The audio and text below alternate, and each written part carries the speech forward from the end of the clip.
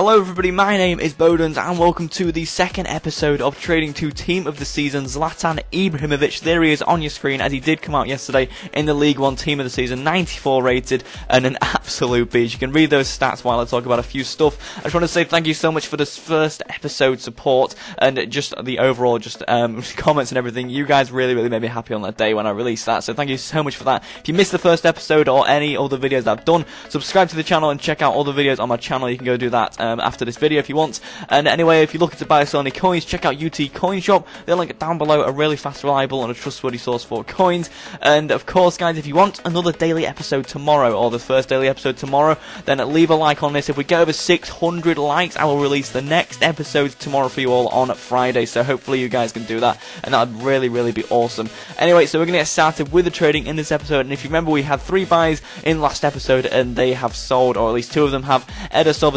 6,900 coins, making about 1.5k on him. And Maralunga, one of them, sold for 4.7k, so that's about 2k profit on him. And we're still waiting, we're still waiting for the other one to sell. Anyway, we're going to go and buy some League One players, as I did this a little bit before the League One team of the season properly came out. So I just went onto the market and bought a few Randys, um, just because basically. Um, um, League One, the, League One demand for players is just going to rise, and also I bought the players that were actually in the team of the season. So, for instance, this goalkeeper is actually 74 rated in, in team of the season. So, if anybody can't afford his um, actual inform or team of the season, then they will come to this card and want to buy it. And because he's not in packs during um, the week, then they will um, just buy it. Um, his price is going to rise a little bit. So, hopefully, we can get like a K off these guys, and you know, each one of them just making like little tiny bits of profit. But it'll absolutely be no problem if we lose a little bit on these guys because we did make a lot of profit on all the cards this episode. So that is perfectly fine. I'm just trying out kind. I'm just trying out kind of a new trading method because I've never really done this kind of before. You know, searching for um, like trading compared with the team of the week that's current, and you know, kind of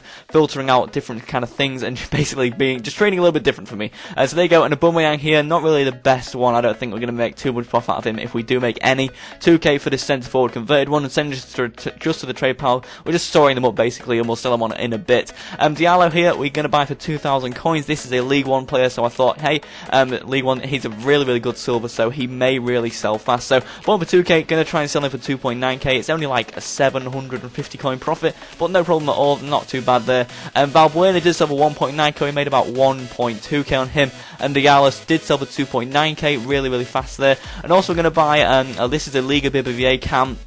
Um, El Arabi 1,300 coins, a nice buy as he is normally a centre forward. So this guy we're going to try and sell for around 3. 4k, I think. We may actually go a little bit higher with him. Or 3,600 coins we're going to try and sell him on for. So that's around 2,000 coins of profit on him, which is nice, especially um, during this team of the season when trading is a little bit harder. Um, 3,000 coins for this other Liga BBVA player. This is the left forward um, Chilean um, Orellana, I think his name is. But 3,000 coins we spent on, on him. I think he's normally like a left mid, and we just converted him to a left forward or bought the converted one, and hopefully we can sell him for 5.7k.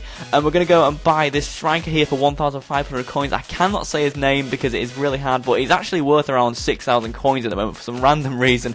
So I'm going to undercut them um, by quite a bit as we bought this really, really nice buy for 1.5k. We're going to go for about 4.7k with this guy because his formation isn't the best. But yeah, we traded this guy a few times this episode, so you'll see that in a little bit. Dos Santos here for 550 coins, a nice buy. The only reason he really sells is because he's with FC Barcelona and his stats aren't too bad. We're also going to buy this 433 um, striker that we just bought a little bit ago for 2,600 coins, and because it's in 433, we're going to be able to get like an extra K out of him, so that's a nice buy for him as well. Dos Santos, finally, we we um, we are able to get him out of the watch list as he was stuck there a little bit, and we're going to put him up for 1.8k, and that um, uh, the Spanish striker um, in the 4-3-3 formation. We're going to try and sell him for around 6,700 coins, I believe. So, yeah, hopefully we can get some nice profit out of these guys. And when I woke up this morning, two players did sell. It was El Arabi and the Iago Aspas, that um, Spanish striker. Anyway, guys, thank you all for watching. That is the end of the episode. And if you have enjoyed, guys, please do leave a like. As I said, over 600, and I will release another episode tomorrow for you all.